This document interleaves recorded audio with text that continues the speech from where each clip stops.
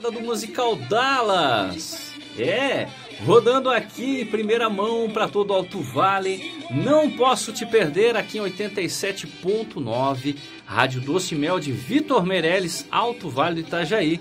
Com certeza, lançamento aqui toca vai ser sucesso. Com certeza. Um abraço, sucesso cada dia mais para vocês. Tamo junto.